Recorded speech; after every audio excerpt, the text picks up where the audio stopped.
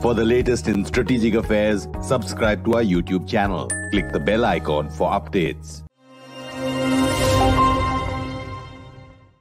बुद्ध का मार्ग भविष्य का मार्ग है सस्टेनेबिलिटी का मार्ग है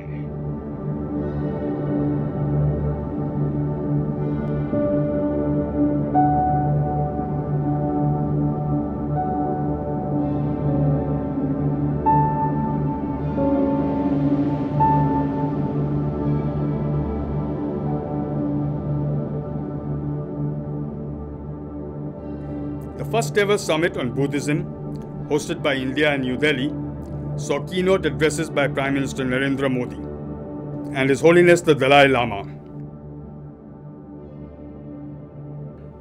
Tukstan tebe, hobd kal tukstebe ina, pe nadan kyobu shubi shakar duwa. Zidi ine, chanchu kusum to, tongyi kita samlu to zoyaba, kenge chanchu kulam to gyuri sheba shungba ina, आधुनिक विश्व की ऐसी कोई समस्या नहीं है जिसका समाधान सैकड़ों वर्ष पहले बुद्ध के उपदेशों में हमें प्राप्त न हुआ। But they spoke separately Modi on the inaugural day and the Tibetan spiritual leader speaking on the second day they did not meet in fact they have not met since Modi took office in 2014. Although they have spoken.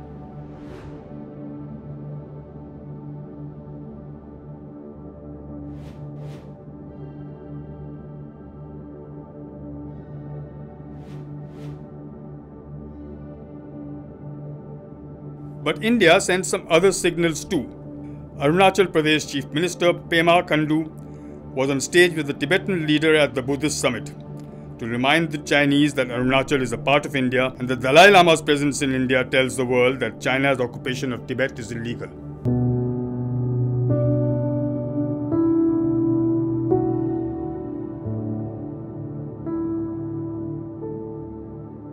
The Buddhist summit was an opportunity to challenge China's narrative that Buddhism is of Chinese origin. India is a land of uh, Buddhism. So I think we expect Indian Buddhism should be revival and lead world Buddhism. The summit, attended by 300 delegates and scholars, discussed climate change and the environment, a not so subtle message to China that its activities in Tibet have seriously damaged the environment and displaced the local population. Delegates also reflected on the Ukraine war and its damaging consequences to the world. All Buddhist community of global response to this most dangerous challenge for today, I think we should provide the possible hope of the wisdom to make this war to be dissolved and a new vision of global nonviolent peace to be initiated.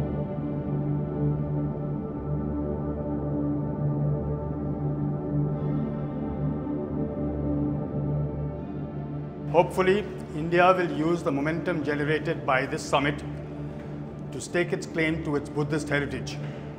Such summits are also good for political messaging at a time when relationships with neighboring countries like China are fraught and uncertain. With Sanchit Razdan, this is Ramananda Sengupta for Strat News Global.